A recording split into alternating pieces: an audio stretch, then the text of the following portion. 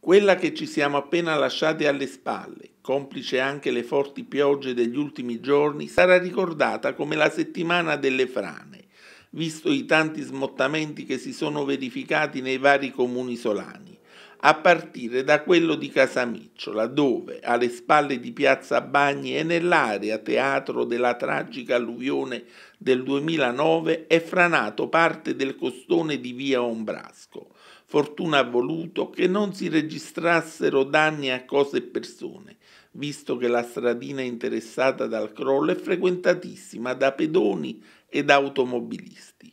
Oltre a quello registratosi nel comune di Ischia, in via Giambattista Vico, lungo una parete da sempre ad altissimo rischio idrogeologico, preoccupante è stato lo smottamento che l'altro ieri mattina si è verificato nel comune di Barano in via Cavanocelle, dove il terreno ha completamente invaso la carreggiata della strada situata alle spalle del cimitero di Piedimonte, isolando una decina di famiglie che vivono in zona.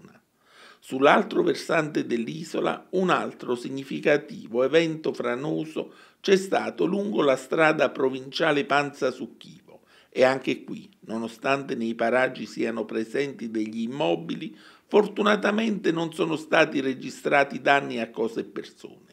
allo stesso modo di come è accaduto le sere scorse a Serrara Fontana, dove un grosso smottamento ha invaso la carreggiata nei pressi della caratteristica casa museo della famiglia Di Meglio, nel tratto di strada che si trova a confine col comune di Barano.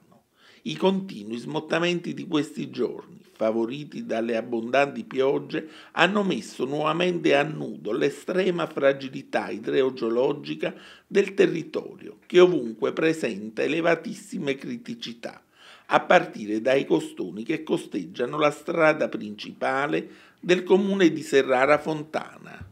Siamo proprio lungo la strada principale del comune di Serrara Fontana, sotto di uno dei costoni che appare tra i più pericolosi. Una situazione veramente incredibile e qui ogni qualvolta piove si verificano, come potete vedere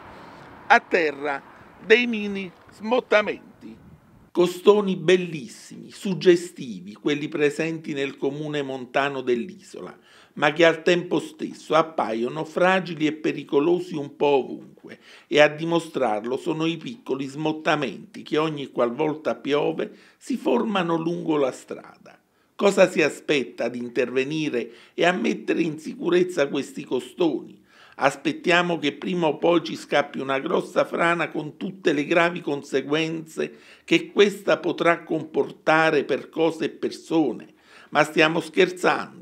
Tutte le istituzioni dello Stato competenti in materia di dissesto idrogeologico sono richiamate ad intervenire per verificare l'eventuale pericolosità in determinati punti di queste bellissime e suggestive pareti naturali.